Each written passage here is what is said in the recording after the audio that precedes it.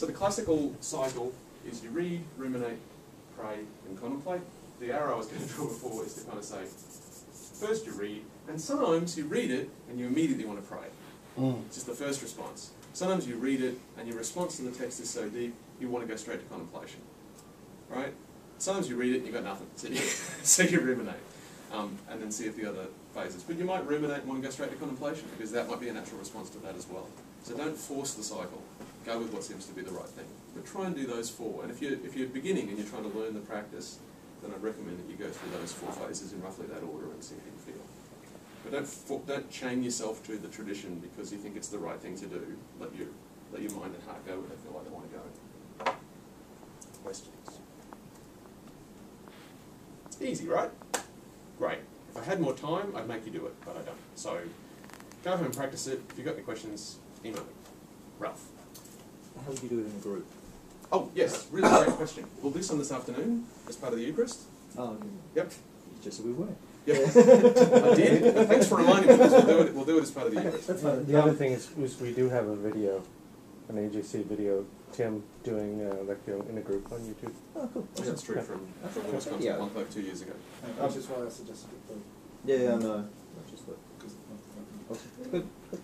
Um, I, sorry, I, my, my question, I think you probably answered mostly, um, but it was kind of relating to, to people that do it with other texts other than the scriptures.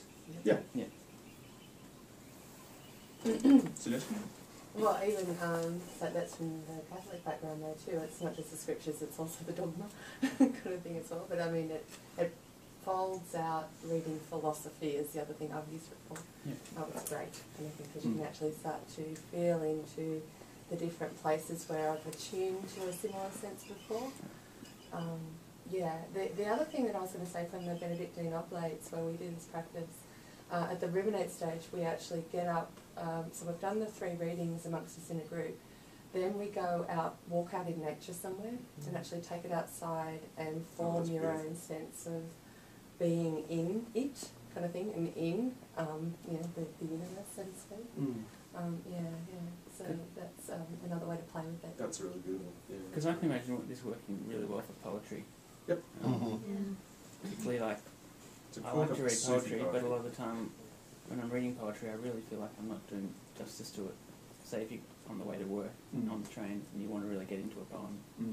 you can't because you can't really. Well, you can read it out loud, but you don't really feel right about it. So that's a- another. area I Just put a hat down. People leave you alone. Yeah. Just imagine you're busking. That's true. That's, it's true. It's true that I think poetry is a really good use for it. Yeah. Um, let's not pretend that the voice of the logos is restricted only to canonical scripture.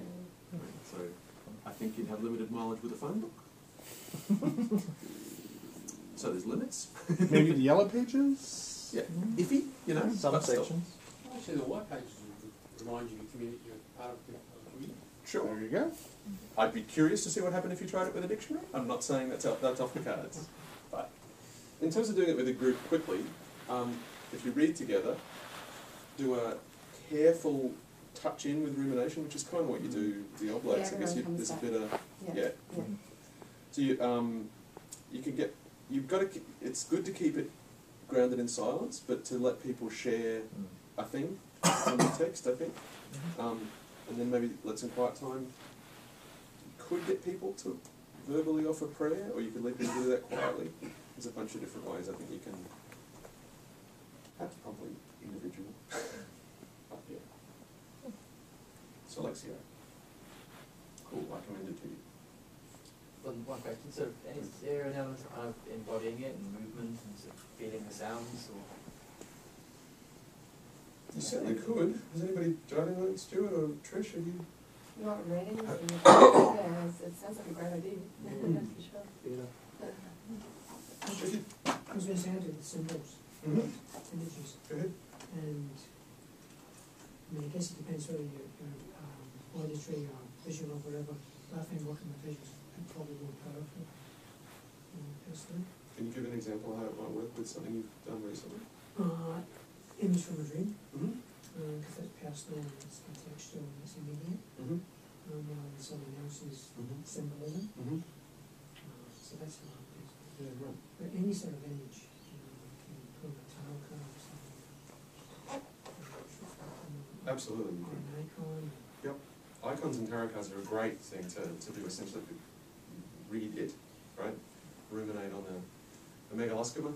You Certainly, definitely as well. So I had one chap in uh, my second prayer group in Brisbane a couple of years ago who we, I did this one Monday night and uh, he came back the following week and said, it's really great, it's a really great practice. I said, oh, have you been doing it with the Bible? I went, no, I've been doing it in life. I went, uh-huh, okay, what do you mean?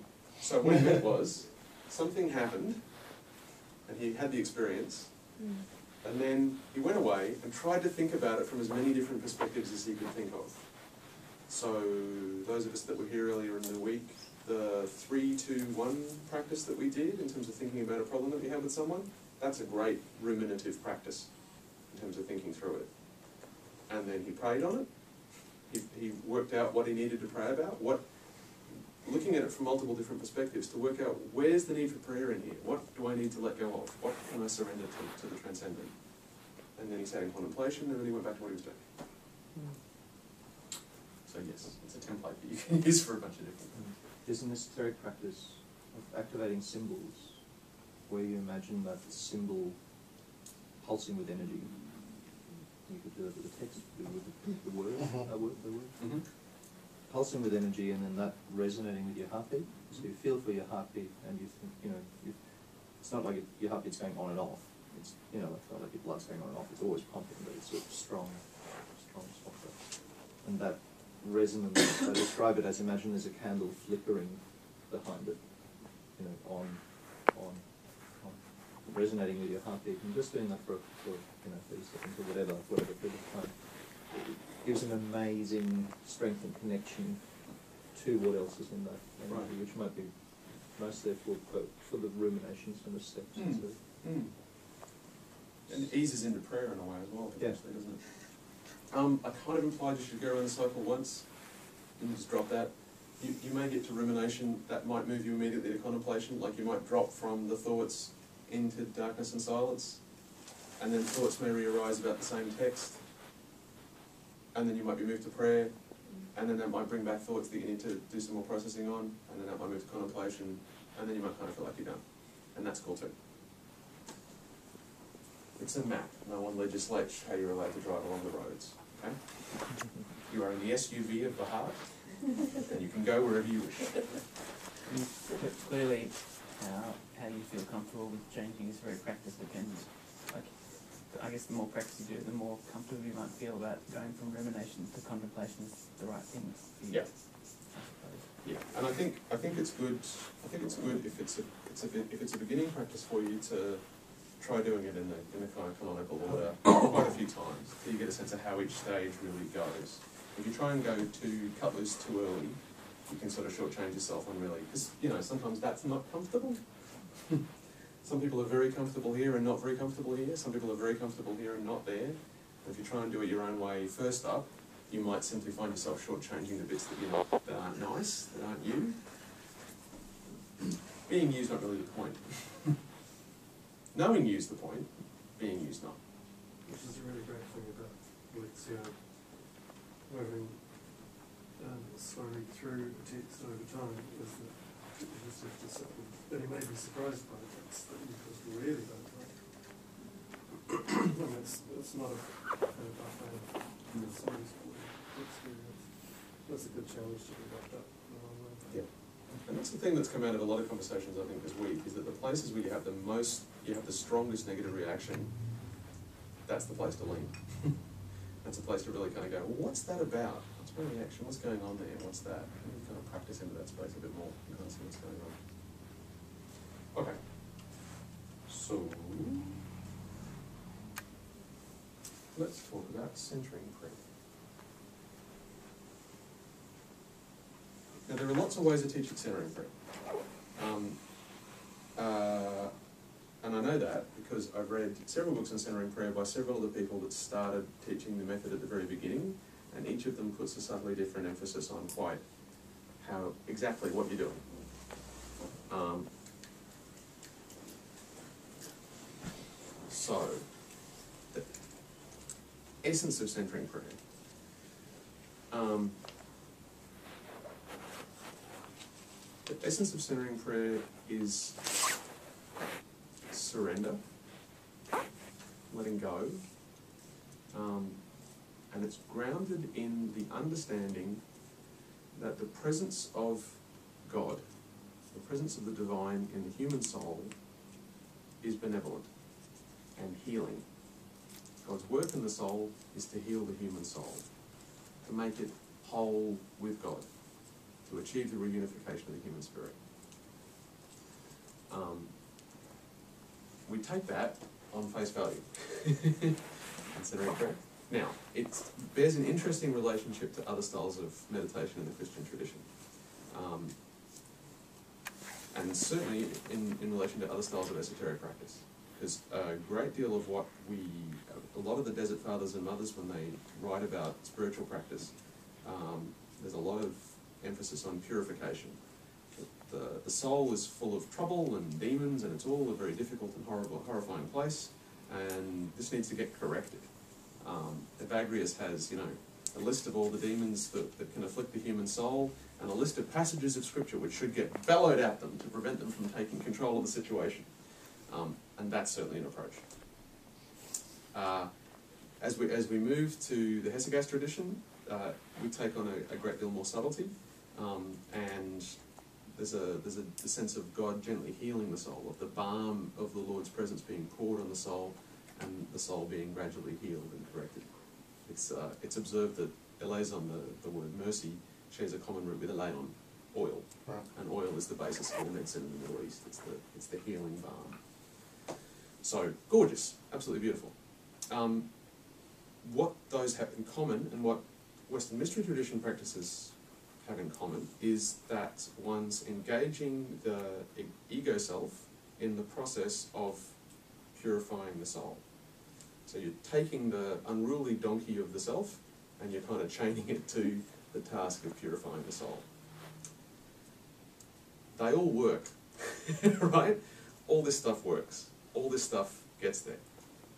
Centering prayer takes a different approach because it's based in the faith that if you just stop fiddling with it, it undoes itself. What we face in centering prayer is, as my friend Tom Dunster says, God, or if you prefer, reality. the reality of your actual human situation. Um, and you try, well, you don't try, you simply stop fiddling with it. And at some point, you notice that you're back to fiddling with it, and so then you let go. And what we understand happens over time is that gradually the benevolent presence of the divine in the human soul begins to gradually right the situation. But there's that phrase, the soul is hidden in darkness with Christ in God. This happens in such a way that, that the rational mind and the conscious self isn't really aware of what's actually going on. So this is kind of, it all happens in a kind of mysterious way that you're not aware of, which makes it deeply unsatisfying when you want to know what's going on. So it, it, it has its irritations. So, the practice of centering prayer is very, very simple. Uh, one commits to the idea, or commits to the practice, that when you notice that you're caught up in a thought, you commit that you're going to let it go. Because this mucking around with things is the, that's the activity of the ego.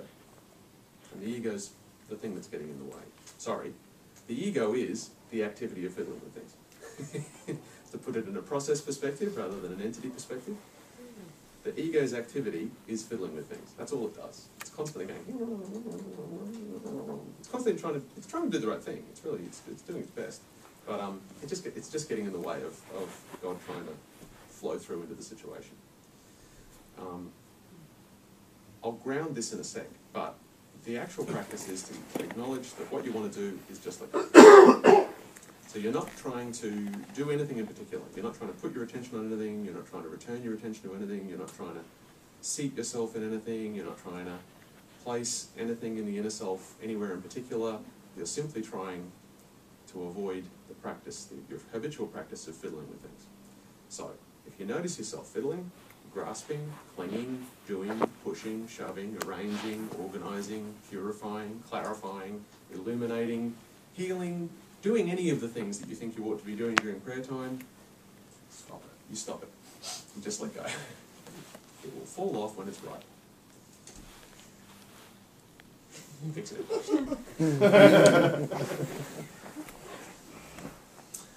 Now, um, that's trickier than it sounds, obviously. So one of the things that we do to make it easier is to pick a sacred word. You pick a, a word or a very, very short phrase. Like you can get up to two or three words safely, and that's about it. But a word, ideally. People pick all kinds of words like grace, peace, yes, open, Jesus Christ, Lord, Mother, Mary. Doesn't matter. Don't pick a word you have a strong emotional attachment to. Why wouldn't you pick a word you have a strong emotional attachment to?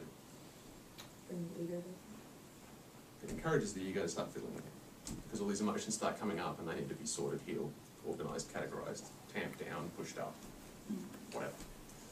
So you pick a word that's reasonably neutral. In, in fact, it doesn't matter what the word is. Here's the great secret of centering prayer it doesn't matter what the word is. You can use biscuit. Not you can't use biscuit. I have too much of an emotional It has too much of an emotional attachment. Eggs. Ice cream, hat stand, shoe, chicken, Murder. chair. I'd avoid murder, but yeah, anyway. You can pick any word that you want. It's called a sacred uh, word not because you pick a sacredy word, it's called a sacred word because you make it sacred in the activity of using it. So you pick a sacred word, and that word acts as an emblem for your intention to let go the clinging of thoughts. When you notice yourself caught in a thought, you repeat the sacred word and let it go. And then you don't do anything else. Because what you want to then do next, typically what we all want to do next is go, right, now that I've released the tension from the thought, I'd better put it on my breath, or stick it in the middle of my head, or put it back, you know, at the back of my throat where I normally put it, or um, shove it in my foot, or stick it on that noise that's happening outside. Yes, that will be better. That's a safe place to park my attention. That's what I'm going to do. Damn, I'm thinking again. Mm. Ah, sacred word. Okay. That's the basic practice. Or, so, you, or you could go looking for more thoughts to stand out. yes, Yeah. Hunting for them, in fact. Indeed, indeed, indeed. What does this sacred word really mean to you? Yes. I know. I'll do Lectio on the sacred word. That's a good thing to do during. Damn it! Sacred word.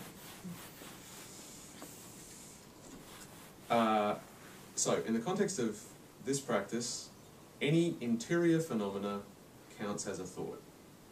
Whether it's an interior phenomenon in response to an exterior phenomenon, so it's the noticing of the itch in your foot, it's your response to the noise of the air conditioner or the birds outside, it could be an emotional feeling, it could be a wool gathering thought, a meandering about what's going to be for dinner, will we get more eggs, for instance, or whatever. Um, it could be pondering on the thoughts of the day, any of it. It can be a religious illumination. So if you receive a glorious vision of the Bodhisattva of your choice or of the Theotokos, then that's great, but it has nothing to do with centering prayer. Um, I quote this every time because I love quoting it. Father Thomas uh, has said publicly, um, if one receives a vision of the Blessed Virgin Mary during prayer time, the correct response is, not now, dear, I'm doing centering prayer. If it's a genuine, if you're experiencing a genuine realization, it will come back, or you'll re-experience it in a different way, or it'll return to you outside prayer time. Um, that seems like the brass ring. That seems like what you're there for. But if it happens during centering prayer as a practice, the correct thing to do is, like everything else, let go of it. Don't fiddle with it. It may continue to happen, but your job is not not to fiddle with it. Okay, we better practice, otherwise I'll, I'll show up all the time and talking. Are there any questions? Yeah, can we take two minutes Yes. for a, for a, a brief break stop. before we start? Yes, let's do it. Has anyone got any technical questions about what to do? Centering prayer is typically, typically practiced with the eyes closed. You want a posture that's comfortable, and for most people, that's with a straight back, either sitting up in a chair or lying flat on the ground. If you're in an armchair, if that works for you, that's cool. Um, you'll know by the end of the practice whether it is or not. Uh, feet flat on the ground, ideally. That sort of keeps you, the hips kind of aligned. Um, eyes closed and your head reasonably erect, kind of sitting back on your shoulders or resting back against the chair.